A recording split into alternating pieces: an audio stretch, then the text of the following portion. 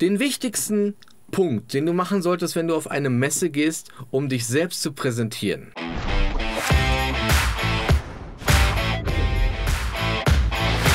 Video Do, einfach bessere Videos machen. Geht nicht darum, dass du direkt irgendetwas verkaufst, dass du dem Kunden sagst, hey, ich mache hier Image-Videos, ich mache das, ich mache dies und äh, buchen sie hier sofort. Nein, der wichtigste Punkt, den du machen solltest, ist Kontakte sammeln. Und zwar im Austausch zu irgendeinem Mehrwert. Zwar hilfst du dem Kunden quasi gratis. Und dieser, dieser Kunde gibt dir auch gerne gratis dafür seine E-Mail-Adresse zum Beispiel. Du hast dann seine E-Mail-Adresse, kannst ihn jederzeit wieder anschreiben und ihm immer noch weitere Tipps geben. Ich habe dir bereits schon mal diese sieben Kontakte-Regel erklärt. Wenn du nicht weißt, hier oben ist das Video, guck einfach nochmal nach und äh, ich würde mich freuen, wenn du da auch nochmal einen Daumen hoch lässt und sagst, ja, das Video ist cool, das gefällt mir, das ist wirklich Mehrwert, den ich, den ich bringen kann.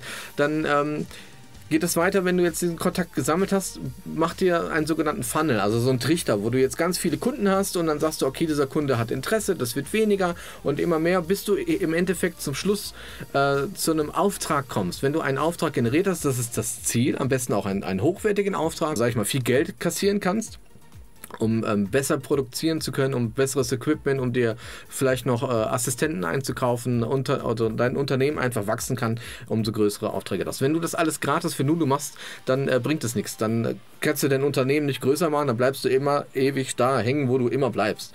Und zwar ist es ganz wichtig, bei diesem Trichter, den ich ja vorhin meinte, du hast jetzt Kontakte gesammelt, du hast jetzt die E-Mail-Adressen und, und äh, baust immer mehr Mehrwert und mehr äh, Vertrauen auf. Das ist das Allerwichtigste, indem du einfach Vertrauen aufbaust zu dem Kunden, dass er so viel Vertrauen zu dir hat, dass er dir auch ruhig gerne einen fünfstelligen, einen sechsstelligen Betrag überweist und sagt, hey, hör mal zu, du machst das, ich weiß, du kannst das, weil er dich vorher schon kennengelernt hat. Ich hoffe, das Video hat dir gefallen. Ich würde mich riesig freuen, mehr von dir zu hören. Und schreib einfach in die Kommentare, wie du, was du für Erfahrungen hast. Ich würde mich freuen. Bis dann. Ciao, dein Sven Sulik.